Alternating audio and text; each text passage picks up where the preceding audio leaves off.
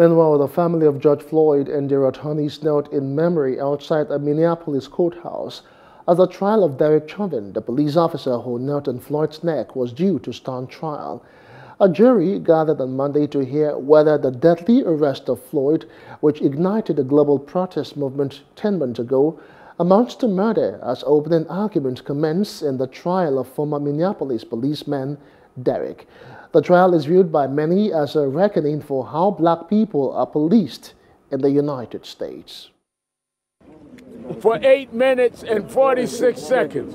And we want you to think of during that time why Chauvin didn't in that time get his knee up.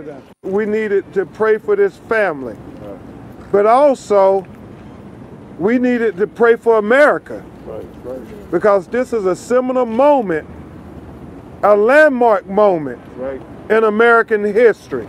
And so we need to pray that America can live up to its high ideals.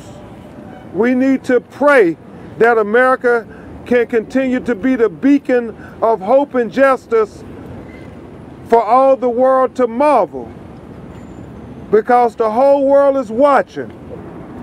Today, we can get some measure of justice, Ben. Yes, sir. Today is the beginning of a new era for Minneapolis, Minnesota, and for America, and also for the world as a whole. Amen. Keep your eyes on Minnesota. This is where change is going to start. It was a motion cinema picture. Everybody seen it. You had to be blind if you didn't see it. A blind man heard a man being tortured to death. Mm-hmm. Hmm. As my uncle said, a blind man can see this. Yes, sir. A blind man can see that that was murder. Tell it. Despite anything that they say about my uncle, that was murder. Tell it. Hope you enjoyed the news. Please do subscribe to our YouTube channel and don't forget to hit the notification button so you get notified about fresh news updates.